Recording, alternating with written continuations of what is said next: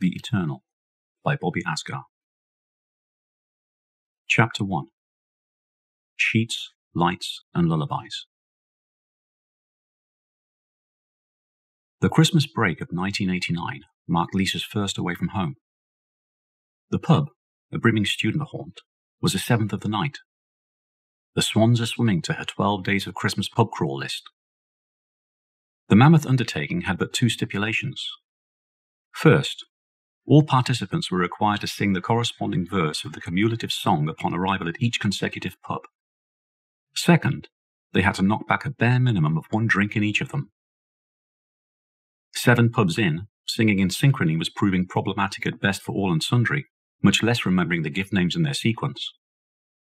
But that was the point, and there were five more pubs to go.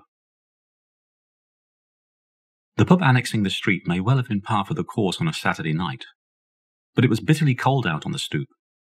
The eye stinging, foot stomping kind. Lisa wasn't alone in doing as much. She folded her arms tight to bar the chill. Dave stepped down ahead of her.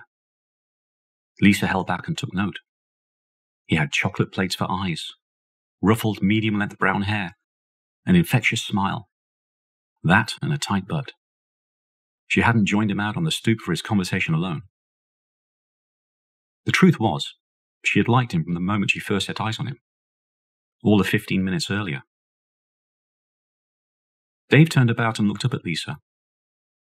In black thigh high boots and a short dress under a shorter coat, she was showing some upper leg skin, potentially flaunting it.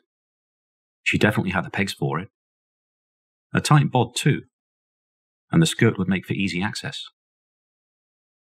Back in the pub, she could hardly hear him. Moreover, her friends were all about. Twelve minutes and thirty-seven seconds after first stepping up to her, he had checked his watch. She was following him to the door. Lisa shuddered, said it was cold out. Her speech was slurred. Dave smiled impishly, told her not to worry, that it would help keep her warm. Lisa smiled bashfully at him. Dave Stimid is shivering. The girl wasn't wrong. It was brass monkey weather. But he wasn't going to let her know he thought that. A couple staggered up onto the stoop. The man was half cut. His girlfriend, three quarters, at least. They were arm in arm, more for support than affection. On their way to the pub door, the girl accidentally bumped into Lisa's right side. Lisa frowned resentfully at the woman. Dave liked the look. Her blue eyes were glazed but glowing. The fire in them made her seem wicked. The bar had been too loud for Dave's liking, had far too many faces, familiar and otherwise. The problem was the street outside it wasn't much better. He knew she liked him. She had stepped out after all. To better his chances, he needed to get her down off the stoop and moving, warming up and away from the other punters. Arms out and basking in the frigid air, he made out it wasn't so bad, and he told her as much. Still moderately peeved by the clumsy people, Lisa barely looked at him. Dave saw she was shivering again. The clanging brass nuts were tipping the scales. If he didn't act quickly, she would be back inside and with her friends. He who dares, Rodney. Dave quickly climbed up onto the stoop. Knowing the brash move could go either way, he went all in, and he kissed her. Lisa's first instinct was to recoil, but she didn't. More than mild inebriation had her compromised. Before she knew it, she was relishing the moment. Dave slowly pulled away from her lips. Lisa's cheeks were flushed, her eyes were euphoric. To Dave, both were clear signs she was eager for more. The ice wasn't so much broken as it had been hit by a tropical heatwave. Dave smiled warmly. Bashful, Lisa smiled back at him. Dave took hold of her hand and said, Come on. She didn't verbally agree, but she didn't resist him either. He led her down off the stoop, then across the road and away from the punters. For a girl from a broken home, but for being impressionable, Lisa was fairly grounded. Her mother, not so much. She too had come from a broken home. It had left her all manner of adjectives headstrong, impetuous, volatile, fragile, and insecure, to name but a few. As balanced as a buckled wheel. Her father, on the other hand, was a horse of a different colour, quite literally. His parents had emigrated from Pakistan. They had wanted their children to be born in the best country in the world. The British establishment had a lot to answer for. Father was caring, considerate, and gentle. If anything, too much so. Mother, again, not so much. Their incompatibility made divorce inevitable. Temperaments in mind, father had about as much chance of coming out of it unscathed as a cross eyed veterinarian giving a feral tomcat a rectal examination. Lisa was four years old when the breakup started. It was rough, spanned two years. Still, switching between parents every Friday afternoon thereafter was probably better than life beneath storm clouds. A product of her parents and upbringing, she could have easily acquired a fair share of the bad. She hadn't. She was a daddy's girl through and through. The kind that would say poo and pee pee rather than use even mildly offensive language in his presence. On the TV, in an American accent, duty, sounding like duty, still turned dramatic scenes into skits. The more rugged the role, the funnier she and her father found it. Father wasn't a prude. He wasn't a stickler who frowned upon swearing. He swore, just not often, not superfluously. He believed that for all things, including words, there was a proper usage. That or his moderation was an effort to counter mother's own excess. Moreover, in his eyes, his daughter was the epitome of an absolute angel. Lisa loved watching movies with him. She so loved seeing and hearing him laugh, especially after all he'd been through. For the longest time, she had wondered if she would ever see him smile again. Adding insult to injury, not long after the breakup, he very nearly lost both her and his sanity, and through no fault of his own. Lisa had only recently discovered that her prepubescent exuberance, curiosity, and self exploration was noted by mother and then twisted to put father in a less than morally sanitary light. Child Protection Services were involved. Although no formal accusations were made, the potential threat was deemed sufficient to warrant action. Father didn't have a choice. If he disagreed in any way, further legal action would ensue. The illusions alone were enough to scar him deeply, it explained his physically distancing himself from her for the three years thereafter, from a loving and doting father to being scared to be seen so much as touching her. He wasn't even allowed to be alone with her, not just in the room, but in the house. The CPS insisted that when mother went out, shopping for example, another party had to be present. No relatives lived nearby, and friends weren't always available. More often than not, it was a neighbor someone they barely knew placed with a young girl. Father couldn't always be in the same room for hours on end.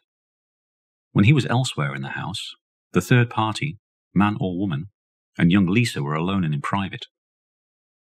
The CPS were okay with that.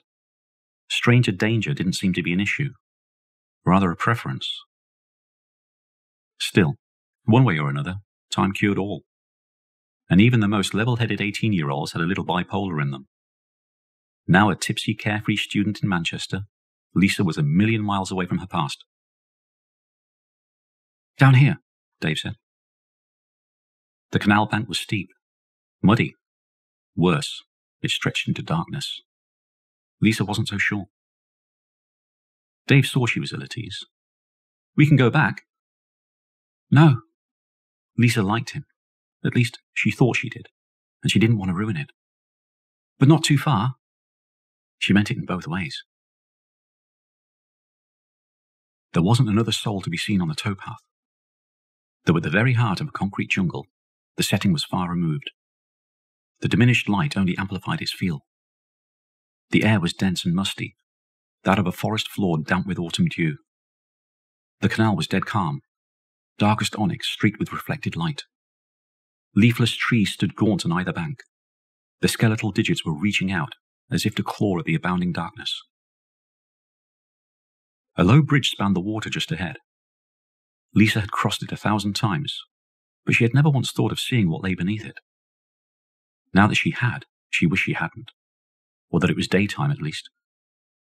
The black vacuum broke the towpath in two and turned the ambient feel from romance after dark to the scene of a slasher flick. Lisa was on the verge of bailing. Dave took her hand. It's okay, he said. Lisa didn't speak, just stared into the heart of darkness. You scared? Dave said. Lisa shook her head and said, No. The light was transparent. Don't be. It's just dark, is all. It wasn't the darkness that scared Lisa, more that which might be hidden and waiting within it. You do know there's no such thing as a bogeyman, Dave said, and he pulled her closer. Trust me. He looked into her eyes and gently squeezed her hands. There's nothing there. Lisa felt foolish. She remembered how her father would always make sure the nightlight was on in her bedroom. He did so out of compassion, and for good reason. Children slept more soundly absent darkness to birth demons. He would take the effort to angle the light perfectly so it wouldn't disturb her. When she was frightened, he would stroke her hair and sing her to sleep. Reminded of how she used to hide under the bedsheet or protect her neck with it, she cracked a sheepish grin, as if a piece of cloth would stop a monster or a vampire. Burying one's head in the sand was so childish. She could still hear music and laughter. The pub wasn't far, just up the bank and across the road. There had to have been close to 40 punters outside it. There were more people up ahead on the bridge. She was in the middle of Manchester, surrounded by pubs, clubs, and masses of people. What could possibly go wrong? Lisa passed into the shade beneath the bridge. Her eyes adjusted. The path was dim, but clear. Dave was right. It's just dark, is all. His back to the wall, Dave drew Lisa in. He held her close and looked into her eyes. Lisa could smell the heat rise off him. Dave told her he had liked her from the moment he first saw her, on the second day of Christmas, with two turtle doves and a partridge in a pear tree. He said he had wanted to steal her away from her friends all night, to take her elsewhere, somewhere quiet and secluded, where they could be alone with one another. Lisa shivered, but not from the cold. Though the air about her was bitterly crisp, she was flushed and warm. Far removed from the surreptitious feel of an alleyway or the back of the bicycle sheds, the void beneath a bridge was a world hidden in the midst of another. Dark, musty, secluded, and with an atmosphere so thick and intense that even the blaring music softened to it. Any lingering fears she had were instantly evanescent. The rest of the world quickly faded further away. Then she leaned forward and kissed him. Dave reciprocated, passionately, but restricted his hands to her hips and waist. To Lisa, it was a good thing, albeit a torturous tease. When his hands finally did roam free, it felt so right and so wrong at the same time that she was powerless to stop them. She was lost, enraptured by both him and the moment. Dave's hands ventured further, explored mountains and valleys. Lisa shuddered, though she liked the feel of his passion. In the depths of her inebriated mind, her morality was on the verge of raging in civil conflict. Then his hand went a valley too far. It was more than Lisa had bargained for. Her conscience broke free of its shackles and breached. She pulled back breathlessly. What's wrong? Dave said sympathetically. That he was considerate rather than slighted made Lisa feel foolish for a second time. Her insecurity blossomed. Stammering and in simplistic terms, she told him it was too much too soon. Dave feigned innocence. Then he pulled a slightly wounded expression and softly said he was sorry. His compassion fueled Lisa's self loathing. First, a scared child, now, an old maid. Brimful of insecurity, she berated herself inwardly. If she wanted him to hate her, she was going about it the right way. She reciprocated the apology, but by a magnitude of five to ten. Taking the blame might have helped more if she hadn't followed it with Victorian morality. Restating her justification for abruptly breaking passion's flow resulted in him asking her if she wanted to go back to the pub. No sooner had the words left his lips than she told him that she didn't. At least, she didn't think she wanted to go back to the pub. We'll just take it slow, Lisa said. Slow. Dave smiled sympathetically and subtly nodded his head. Inwardly, he weighed up his chances and his options. The thing was, he didn't do low or middle gears, nor was he the type to rely on luck or chance. He preferred baited fishing to board games. A guaranteed outcome extended the thrill of the catch. There were those that could listen to football or even cricket on the radio. Then there was Dave. 90 minutes plus extra time just to hear about a goal was the worst kind of tease. Seeing the strike, and then the ball blast through and hit the back of the net, was a far sight better. But it was still voyeurism. He needed to feel it going. Nothing could beat physically playing the game. He didn't want to get to know the girl, at least not in a platonic sense. What did she think? That they would sit on the canal bank and count the stars? Not that there ever were any above Manchester. Or skip stones across the canal? She knew what she was signing up for from the moment she consented to stepping out of the pub with him. She had made him work for it, too. He had nearly lost out to her friends, then her blatant insecurity, then the frigid cold. All three had been close calls. But when they kissed, he knew he was in. Climbing down the canal bank, holding hands in the dark, stepping under the bridge, and not a soul about. She wanted it just as much as he did. That she still had her arms around his neck hard forged the fact. Playing hard to get. He had seen it often enough. A tease, part of the game. Hers was self deceit, placating her conscience so she wouldn't think herself such a slut after the fact. But how she thought of it afterwards wasn't his concern. Dangling the bait a little longer wasn't beyond him, just so long as the ends justified the effort. She would have to be quick, mind, and not just because she would soon be sobering up.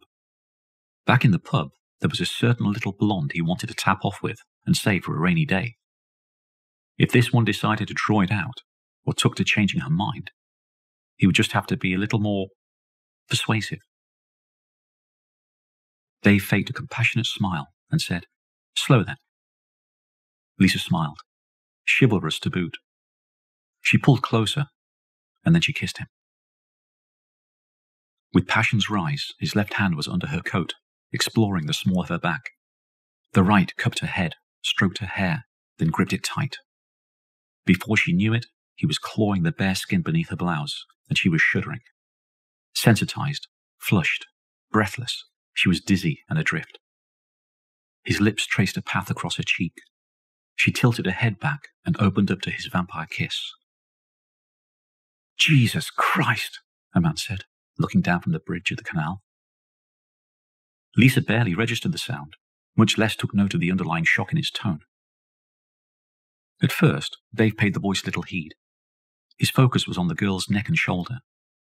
Considering the late hour and locale, noise was nothing untoward. Even so, there was a certain quality to the cry that set alarm bells ringing. He glanced at the canal and did a double take. There was something in the black water. It was half submerged and moving nearer. Dark as it was, he couldn't make the shape out. Dave stopped mauling. He froze rigid. Lisa opened her eyes. Her euphoria quickly faded. Then she was simply puzzled. Dave? Lisa said. Dave didn't reply. Lisa pulled back to look at him. What, what's wrong? she said. Dave's eyes stretched wide with horror. Jesus Christ. Lisa jolted. Then she froze. Whatever he was looking at was directly behind her. Her breath locked tight in her lungs, Lisa's terror spiked. She didn't want to know what it was. There was a certain salvation in denial. But the sugar pill was fleeting. The urge to look, long since beyond overwhelming, drew her like a needle to the north. And as she turned her head about, there wasn't time for all 18 years of her life to flash before her eyes. For want of a bedsheet, she felt utterly naked and vulnerable. Without a nightlight, her worst fears clawed their way out of the shadows and strained to reach her. How she wished her father would stroke her hair and sing her a lullaby, but he was absent too. Then she saw what it was, and she screamed.